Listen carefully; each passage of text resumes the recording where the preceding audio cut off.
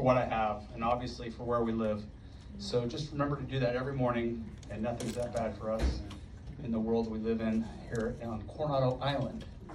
Anyway, um, I would like to, let me see I'm saying. I just uh, would like all of us to pray for the innocent victims of this Ukrainian and Russian conflict. Innocent victims on both sides. Anyway, I pray that their leaders can come up with a peaceful solution soon. And I'd like to end on a quote from Jimi Hendrix. When the power of love overcomes the love of power, the world will know peace. Mm-hmm. Amen. Amen.